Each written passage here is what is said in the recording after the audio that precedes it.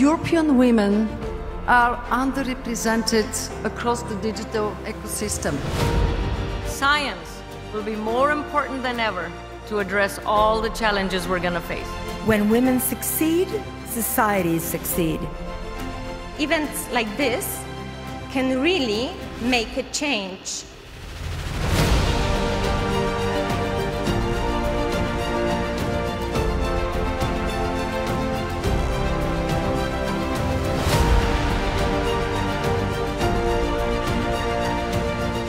Dream big. Don't quit. You are here to unleash that force.